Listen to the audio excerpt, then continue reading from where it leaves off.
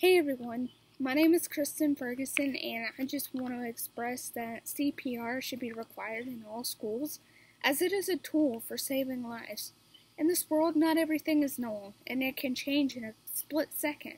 And although first responders will do their best to arrive on scene as quickly as possible, fatalities can still happen within a matter of minutes, and that is why it is so important to learn CPR.